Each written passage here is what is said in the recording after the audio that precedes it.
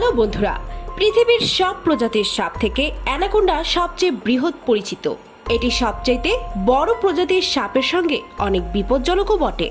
এই প্রজাতির সাপ দক্ষিণ আমেরিকায় সবচেয়ে বেশি পাওয়া যায়। এই ধরনের সাপ এতই বড় হয় যে মুহূর্তের মধ্যেই মানুষ, গরু, ছাগল এবং বিভিন্ন প্রাণী গিলে ফেলতে পারে।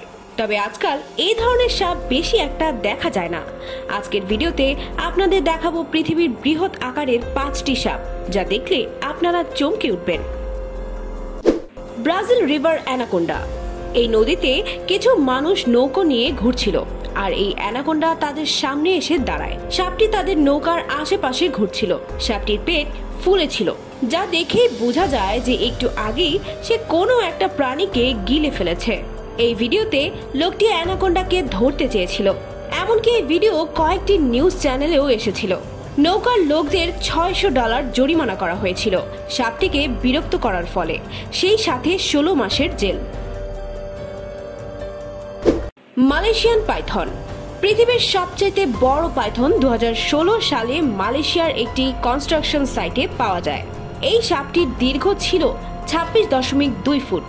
সাপটি ধরার তিন দিন পরেই এটি ডিম পাড়তে নিয়ে মারা যায়। মালয়েশিয়ায় পাওয়া এই সাপটি একটি পিক আপের চেয়েও লম্বা ছিল। এই সাপটির কথা গিনিস বুক অফ ওয়ার্ল্ড রেকর্ডে উঠে যায় এবং সাপটি পঁচাত্তরটি ডিম দিতে পারে একসাথে। মেডুসা দু হাজার এগারো সালের কনসাস সিটিতে একটি পাইথনের খোঁজ মিলেছিল।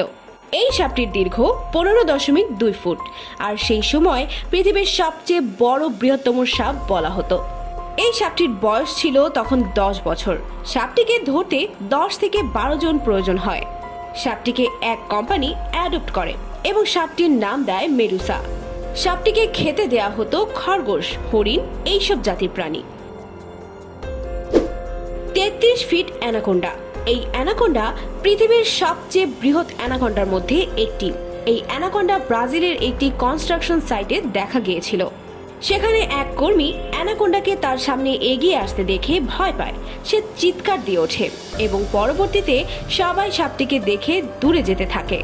সবাই মিলে সাপটিকে বেঁধে ফেলে। সাপটিকে ক্রেন দিয়ে উঁচু করা হয়েছিল এবং উঁচু করা অবস্থায় সাপের মুখ মাটিতে ছুঁয়ে গিয়েছিল।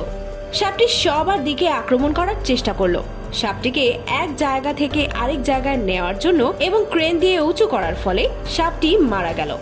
সেই সময় সেখানের কর্মী সাপটির ভিডিও ধারণ করে, যার কারণে আমরা দেখতে পাচ্ছি। কঙ্গো স্নেক, উনিশশো সালের দ্বিতীয় বিশ্বযুদ্ধের সময় বেলজিয়ামের এক হেলিকপ্টারের পাইলট আফ্রিকার জঙ্গলে একটি বিশাল সাপ দেখতে পায়। আর সাপটিকে দেখতে দেখতে হেলিকপ্টারটি দূরে চলে যায়। তারপর সেই হেলিকপ্টারটি আবার ব্যাক করে এবং স্পষ্টভাবে দেখতে পায় যে সেটি ছিল একটি বিশাল অ্যানাকোন্ডা। তিনি হেলিকপ্টার থেকে সাপটির বেশ কয়েকটি ছবি তুলেন। সাপটির ছবি তোলার জন্য পাইলটটি হেলিকপ্টারটি নিচে নামিয়ে আনেন। যখনই নিচে নামতে শুরু করে, সেই সাপটি হেলিকপ্টারে হামলা করে। তারপর পাইলটটি বললেন, সে সেখান থেকে না পালালে সাপটি তার হেলিকপ্টারের মারাত্মক ক্ষতি করত। তবে সে অনুমান করে যে অ্যানাকোন্ডার দীর্ঘ একশো ফুটের চেয়েও অনেক বেশি। আশা করি আপনাদের ভিডিও ভালো লেগেছে। এবং ভালো লাগলে লাইক, শেয়ার এবং সাবস্ক্রাইব করে বেল বাটনটি ক্লিক করে রাখার অনুরোধ রইল। ধন্যবাদ।